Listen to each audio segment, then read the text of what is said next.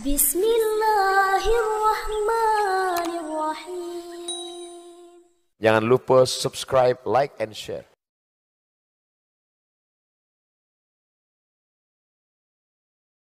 Bismillahirrahmanirrahim. Assalamualaikum warahmatullahi wabarakatuh.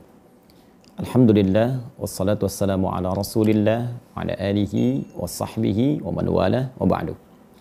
Saudara-saudariku sebangsa setanah air, saya Adi Hidayat dengan ini ingin menyampaikan pernyataan, respon, juga himbauan terkait dengan pandemi virus COVID-19 atau yang kita kenal dengan corona yang telah mewabah di belahan dunia termasuk menjangkiti lebih dari 100 negara. 130 ribu kasus dan bahkan menelan 4.900 korban yang berujung pada kematian. Untuk itu, saya ingin mendukung bersinergi dengan himbauan dunia internasional khususnya dari pemerintahan kita, Negara Kesatuan Republik Indonesia, untuk menekan, mencegah, sekaligus juga mengatasi penyebaran dan penularan virus yang dimaksudkan. Salah satunya dengan pertama, menghindari kegiatan-kegiatan yang sifatnya terbuka dan menghadirkan kerumunan massa. Untuk itu, saya ingin menyatakan bahwa seluruh kegiatan taklim yang sifatnya terbuka yang saya bina untuk sementara kita akan tangguhkan sehingga menghadirkan situasi yang kondusif dan dengan itu kita berkontribusi untuk menekan penyebaran virus yang dimaksudkan sehingga tidak mudah menular pada kalangan masyarakat.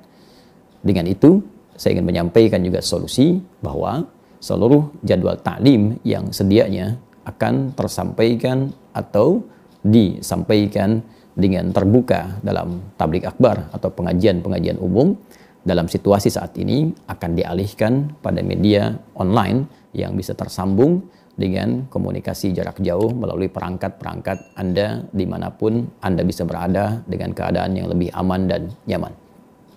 Yang kedua, kami mengusulkan kepada Majelis Ulama Indonesia untuk melakukan kajian khusus terhadap dampak virus COVID-19 ini dalam kaitannya pada penunaian ibadah bagi umat Islam khususnya di Indonesia. Untuk itu kami berharap seyogianya ada fatwa yang disampaikan oleh Majelis Ulama Indonesia terkait dengan tata cara beribadah sebagai dampak dari kaitan penyebaran virus COVID-19 ini khususnya pada tatanan praktis ibadah yang ditunaikan secara berjamaah baik sholat berjamaah ataupun kegiatan-kegiatan lainnya. Dan yang ketiga, tentunya kami menunggu arahan dari pemerintah Republik Indonesia khususnya tentang informasi yang terang seputar penyebaran virus COVID-19 ini di wilayah-wilayah di Indonesia.